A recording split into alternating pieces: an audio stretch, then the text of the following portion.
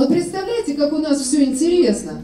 Навык затачивайте пилу – это процесс постоянного обновления, самосовершенствования, который включает в себя физический, ментальный, духовные, социальные аспекты жизни человека.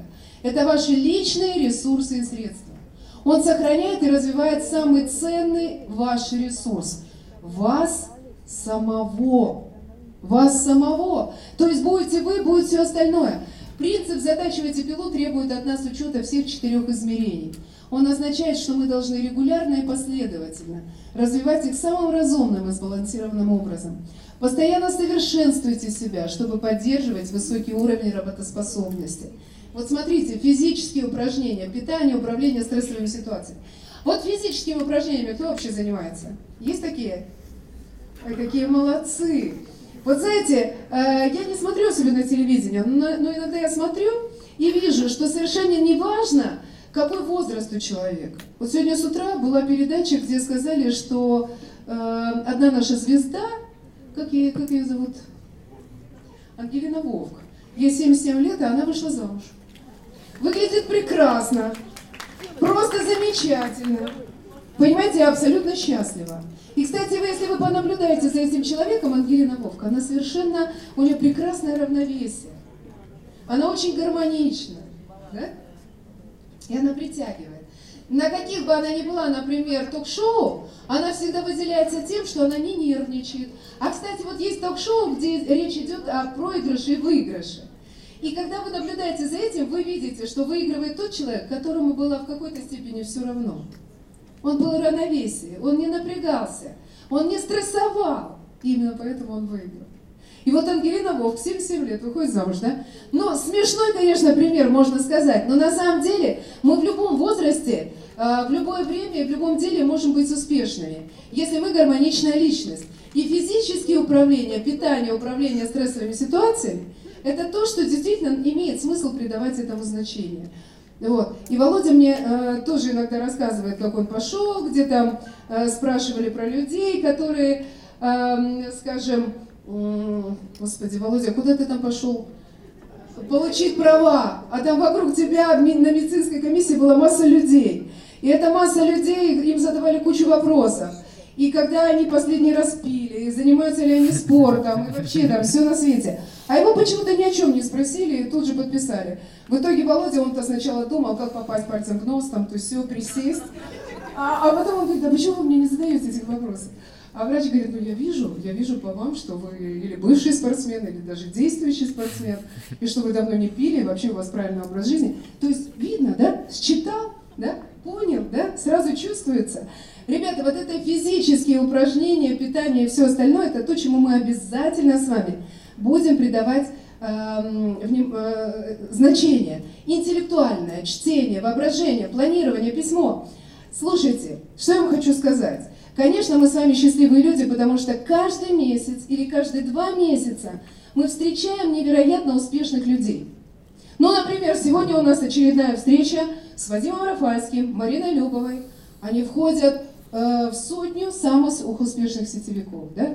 Они умеют сегодня зарабатывать колоссальные деньги каждый месяц.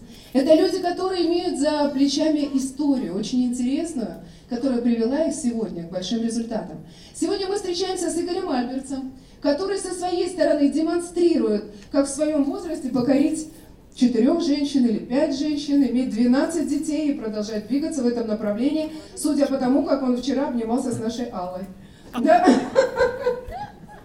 И так далее, так далее, так далее. Я шучу, конечно. На самом деле, представляете, впереди нас ожидает событие. Это событие в Дубае. Вы слышали об этом? 21-22 февраля. Ребята, там будет просто звездная россыпь успешных людей. И это люди, с которыми вы сможете, знаете, э, не то что познакомиться, вы услышите их рекомендации, вы поймете, как они функционируют, вы будете наблюдать как они строят организации, сколько успешных людей они уже смогли создать, как они ведут за собой команду, что они сегодня делают в разных направлениях. Например, меня завораживает, как сегодня работают с предпринимателями. Как это помогает людям, как это интересно, когда строится сеть в сети. Я этого никогда раньше не видела, меня это интересует бесконечно. Короче говоря, ну смотрите, Вы приедете в Дубай, а там будет невероятное количество успешных людей. И это будут даже не только те люди, которые будут стоять на сцене, это будут даже те люди, которые приедут из разных городов и стран. И вы сможете посмотреть также и обменяться какими-то впечатлениями. Вчера мы были невероятно счастливы, что Юра Зотов, например, ой, подождите, давайте я дальше перелесну. А, вот смотрите, взаимозамис... мы были страшно счастливы тем, что он пошел с другой командой.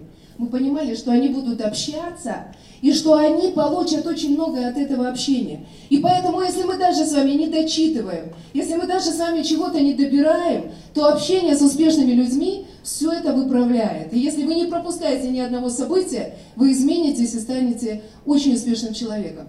Вот смотрите, вот этот круг, затачивайте пилу. Посмотрите, как много объединяет.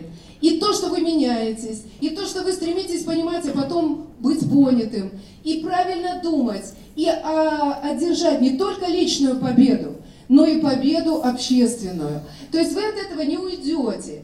И я, знаете, хочу вам здесь прочитать. Седьмой навык заключается в постоянном совершенствовании четырех личностных факторов – физического, духовного, интеллектуального и социально-эмоционального. Вот социально-эмоционального – это то, что делает успешными наших детей и делает всех нас.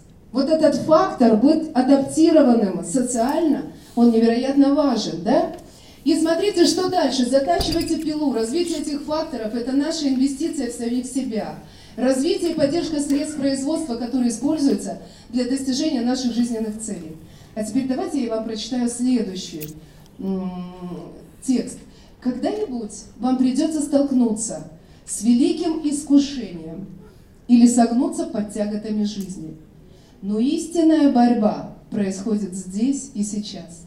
Именно сейчас решается, потерпите вы жалкое поражение или одержите славную победу в день тяжких невзгод или искушений.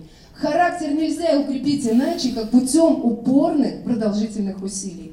Знаете, о чем это говорит? О том, что именно то, что происходит здесь и сейчас, является определяющим – что нет мелочей, и то, что мы сегодня здесь вместе в этой команде и будем слушать успешного человека, это и есть самое важное самое главное. Здесь и сейчас мы определяем свой успех, и это происходит каждое мгновение в нашей жизни. И каждое мгновение уникально. Обновление – это принцип и одновременно процесс – который побуждает нас двигаться по восходящей спирали роста и развития, по спирали постоянного совершенствования. Ребята, постоянное совершенствование и счастье не за горами, успех тоже с нами. И я сейчас хочу спросить вас, мы с вами двигаемся на верхушку макушки, вы с этим согласны?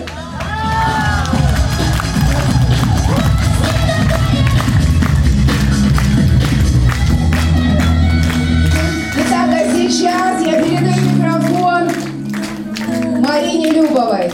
Умницы и красавицы! Женщины, которые делают вокруг себя погоду, и того мужчину, которым мы с вами восхищаемся. Марина Любова, которая всегда рядом. Марина Любова, которая всегда умеет услышать и понять, и принять правильное решение. Это тот человек, с которым многим э, только предстоит познакомиться, но это тот человек, который очень многим доказала, что она надежный друг, она лидер, и она тот человек, снегов. Марина